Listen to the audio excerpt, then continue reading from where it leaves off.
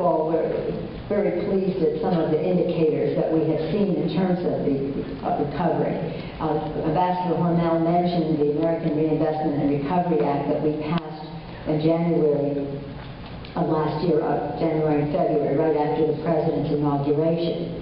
This legislation gave us a running start on healthcare because it had major investments in biomedical research, it had major investments in health IT, health information technologies. It, it, it had a running start on what we want to do for uh, clean energy jobs for the future, and had major investments in education. So it gave us a running start on that budget that would appear in uh, uh, a few months later, 100 days later, exactly 100 days later from the inauguration.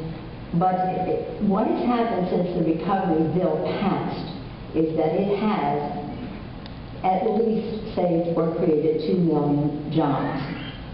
At the, at the end of last year, of of '08, the last quarter of the Bush administration, the last quarter of the previous administration, the GDP was minus 6.4 rate of growth, minus 6.4. Fast forward one year to the end of 2009, it was 5.9 plus. A swing of over 12%, a swing of over 12% in the GDP, from minus 6.4 to plus 5.9.